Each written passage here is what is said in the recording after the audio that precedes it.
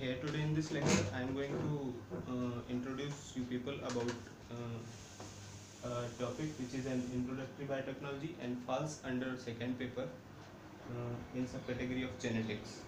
It is an important and emerging branch which encompasses the uh, area shown here like recombinant DNA technology, colony and southern hybridization, DNA sequencing, northern hybridization, western blotting, ELISA and in situ hybridization as well. These are the major topics which I will go to explain further in upcoming classes. Now we come into recombinant DNA technology which principally includes DNA modifying enzymes. These are ligases, restriction endonucleases. Recently in your papers I came to know uh, the questions asked regarding these enzymes and other enzymes like polynucleotide kinases, uh, polymerases and all those enzymes. The next is chemical synthesis of genes. There are two popular approaches which I will explain in next classes. The next one is cDNA genomic DNA library preparation. This is also an important branch uh, from which questions are being asked. And next is gene cloning. This is an important part of the uh, subject which includes PCR amplification of DNA fragments from the template DNA molecules and the next is DNA vectors which are used for the cloning of DNA molecules. On the basis of their origin, these vectors can be divided, subdivided into these kind of classes like plasmid, phagemids, cosmids, YACs and BACs. YACs is the yeast artificial chromosomes, BACs are the bacterial artificial chromosomes. Both of these uh, vector molecules are used for the cloning of big DNA molecules. On the basis of their behavior, these uh, vectors could be subdivided into cloning and expression vector. Cloning vectors are the vectors where we tend to clone our DNA molecules for the purpose of sequencing, screening of positive uh, molecules.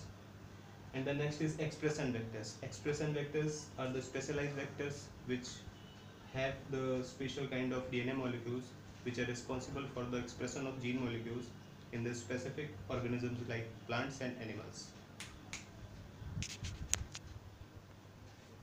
So first we start with the DNA modifying enzymes. These are of, uh, are of several types according to their, their utilities. The first one is the restriction endonucleases. These are the enzymes which cuts the DNA molecules uh, in between the uh, DNA sequences. Another class of molecule is uh, exonucleases which tends to chop the DNA molecules from the terminal ends. So these restriction endonucleases are the enzymes which are which are uh, popularly used, uh, utilized in the gene cloning practices for the uh, digestion of DNA molecules from the intact DNA templates. The next one is DNA ligase. Ligase is an enzyme which ligates or joins the two DNA molecules which has been restricted with different or similar kind of endonucleases.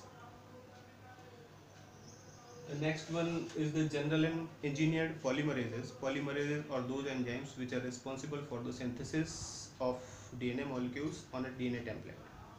These are of several types. We will definitely cover it in next uh, upcoming lectures.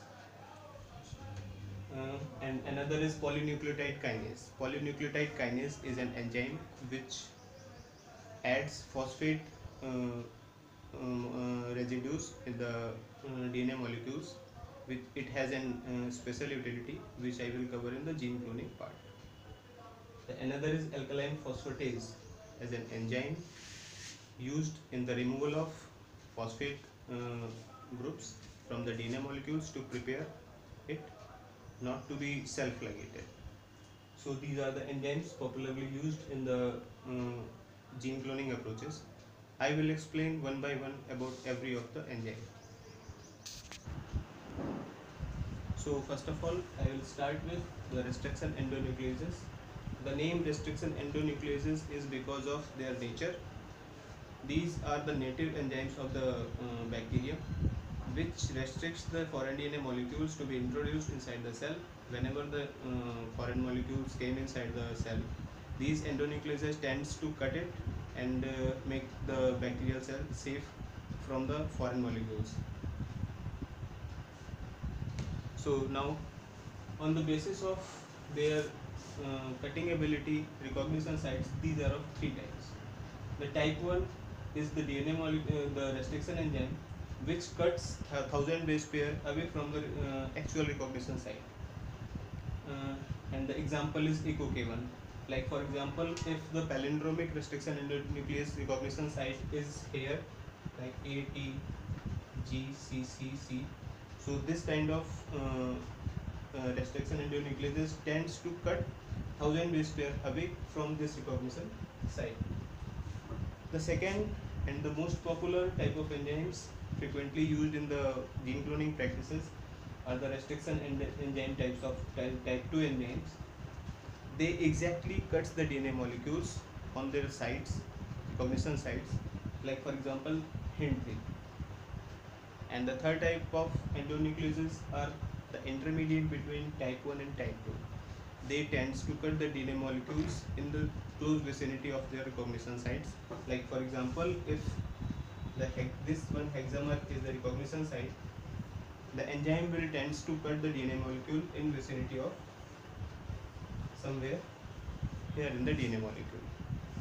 So this classification was on the basis of the cutting ability of the DNA molecules and the next classification could be on the basis of what kind of ends they produce after the uh, digestion of DNA molecules and these might of two type for, uh, as these restriction endo, endonucleases recognizes the palindromic site which are the mirror sites here you can see like GAA-TTC in the case of EcoR1 so first I will talk to about uh, uh, cohesive end uh, restriction endonucleases which produces cohesive end after digestion so the recognition site is the hexamer here you can see there are six bases which are the recognition site and the enzyme tends to cut it from here and here which produces a cohesive end or staggered staggered end after digestion like this.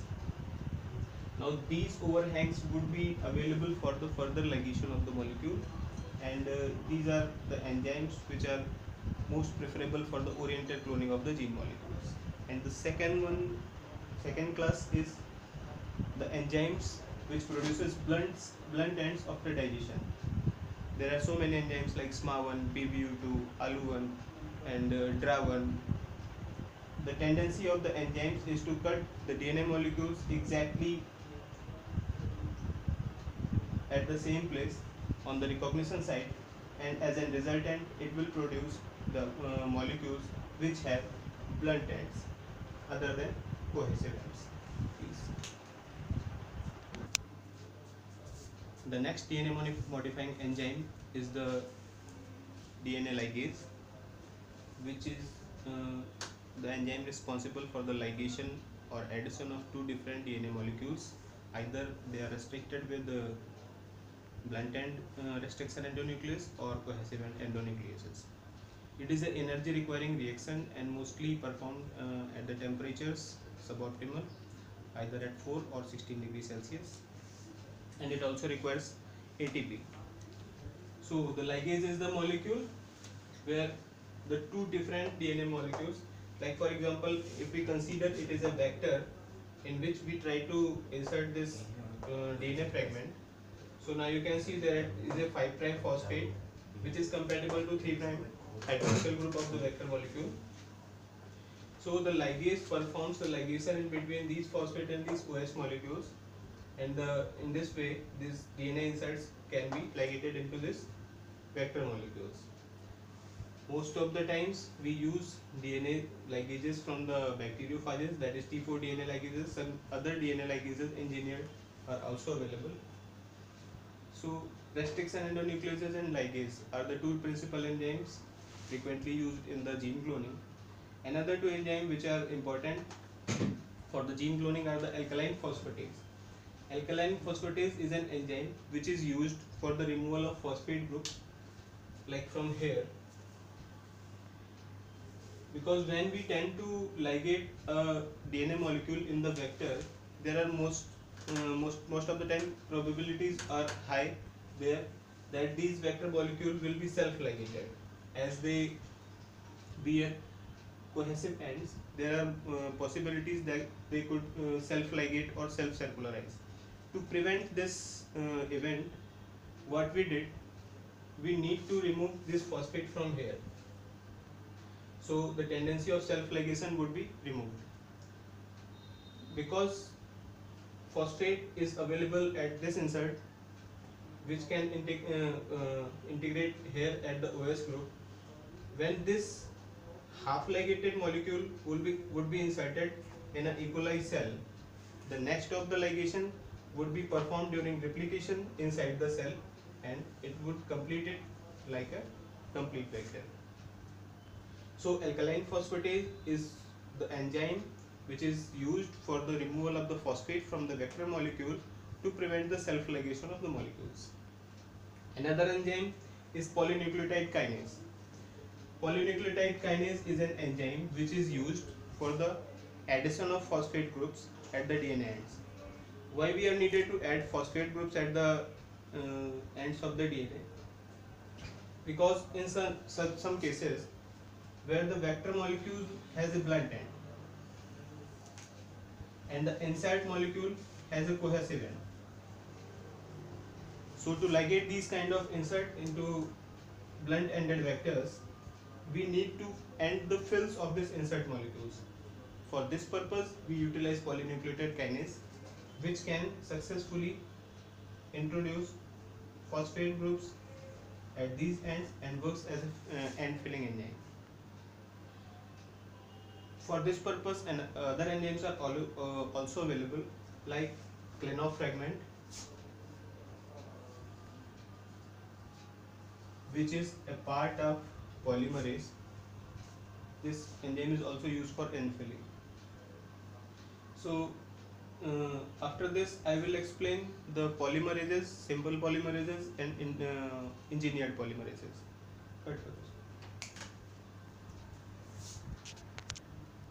Next class of the enzymes is the polymerases. These are the DNA polymerases, uh, which are responsible for the replication of DNA molecules inside the cell. Either it is plastid DNA, mitochondrial DNA, or genomic DNA. As all we know, the DNA molecules are, are the self-replicatory molecule, so they need to perpetuate themselves in next generation, and for the purpose they utilize polymerases.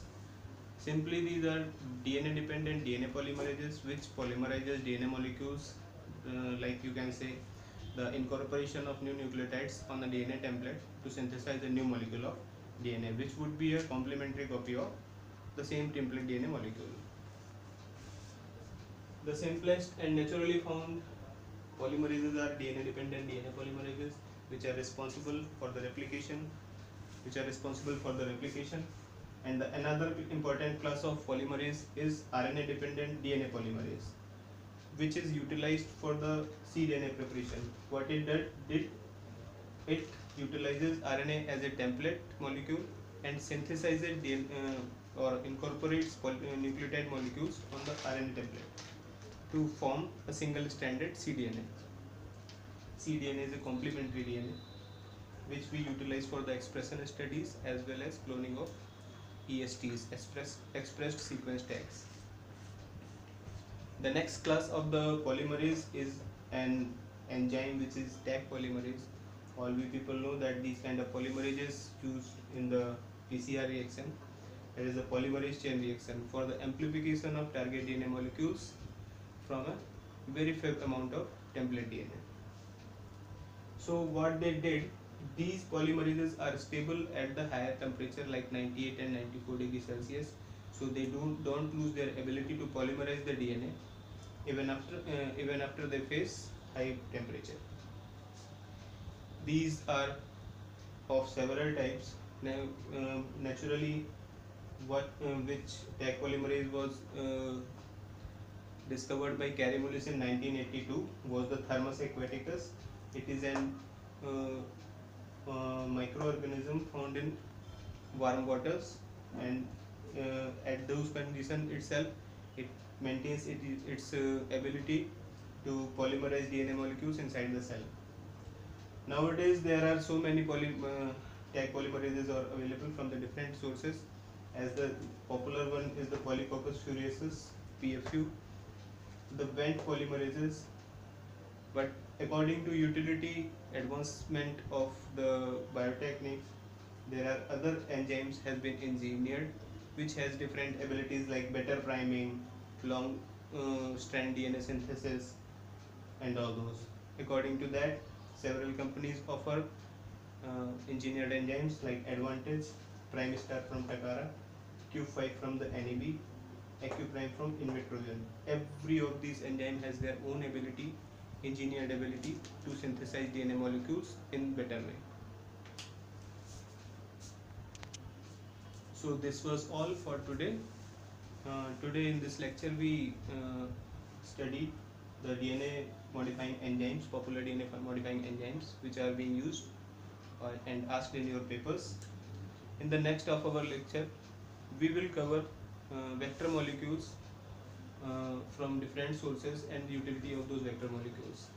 So it would be all for today and I request you to please subscribe our Pathfinder online special classes. Thank you.